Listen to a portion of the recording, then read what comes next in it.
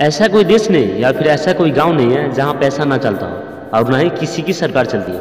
हर एक देश में पैसा चलता है और हर एक गाँव में गवर्नमेंट का आदेश माना जाता है। देश में भी गवर्नमेंट का आदेश माना जाता है। लेकिन भारत में एक ऐसा गाँव है जहाँ पर ना पैसा चलता है और ना ही किसी की सरकार चलती है। वो कौन सा गाँव है? चलिए मैं आपको बताता हूँ। भारत में स्थित आरोविल एक ऐसा शहर है जहाँ ना तो पैसा चलता है और ना ही किसी की सरकार चलती है। यहाँ हर धर्म के लोग मिलजुल कर एक साथ रहते हैं। और सबको बराबर आज़ादी मिलती है। इस शहर में लगभग 50 अलग अलग देशों के लोग रहते हैं। और वर्तमान में यहाँ की आबादी की बात करें तो करीब तीन हज़ार लोग रहते हैं। आपकी जानकारी के लिए बता दें, ये गाँव चेन्नई शहर से केवल 150 किलोमीटर दूर है।